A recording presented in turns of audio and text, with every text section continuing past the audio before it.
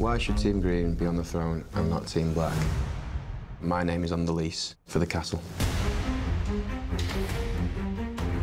Team Black should be on the throne instead of Team Green. Team Green are usurpers. Team Black are the rightful heirs. They were named by the king. They're just better looking, generally. They're the best.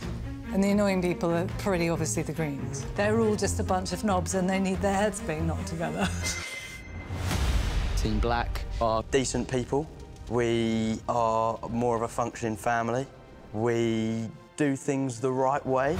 I think we love each other way more. I think we have a family base that is incredible. Team Black are the most fun. We get on the most. They all hate each other. You have no idea the sacrifices that were made to put you on that throne. I think it's more a loyalty thing for Cole. I think it's his loyalty to Alicent. He wants what she wants. I, myself, no comment. Aemond, he was bullied and wronged as a kid. They carved his eye out. He bounced back, he put a sapphire gemstone in his eye. And yeah, they're gonna get what's coming to them. My uncle is a challenge I welcome, if he dares face me.